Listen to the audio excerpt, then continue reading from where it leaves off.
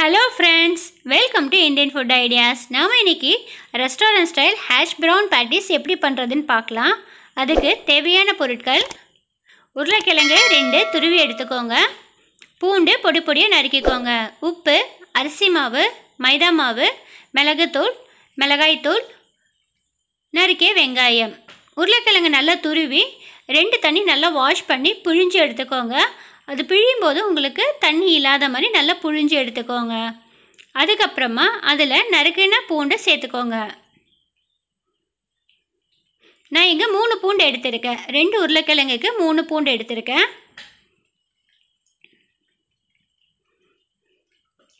சின்ன ஸ்பூனில் ஒரு மூணு ஸ்பூன் அரிசி மாவு.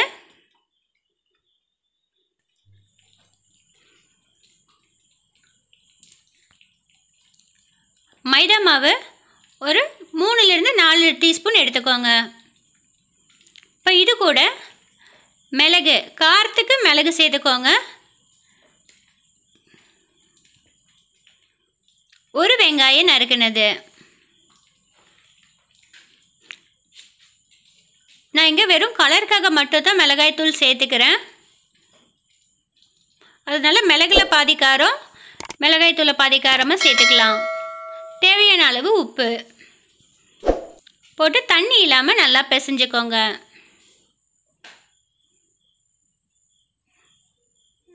நம்ம மாவு ரெடி ஆயிடுச்சு இப்போது இதை சின்ன சின்னதாக பாலாக உருட்டி கடையில் என்ன சூடானதோ நம்ம எந்த ஷேப்புக்கு வேணுமோ அந்த ஷேப்பில் தட்டி போட்டு எடுத்துக்கலாம்.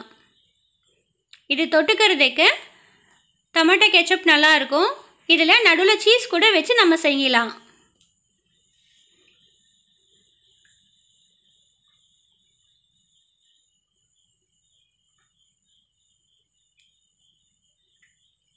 சீஸ் வச்சு இன்னொரு நாள் உங்களுக்கு செஞ்சு காட்டுறேன். எப்படி பண்ணுறதுன்னு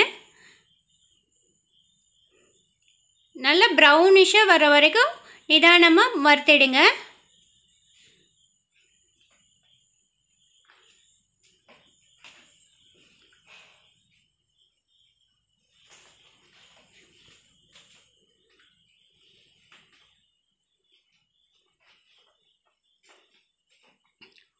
பிறகு ரெண்டு பக்கமும் கோல்டன் ப்ரௌன் ஆகிடுச்சு இதே பக்குவத்தில் மற்றதெல்லாம் நம்ம பொறிச்சு எடுத்துக்கலாம்.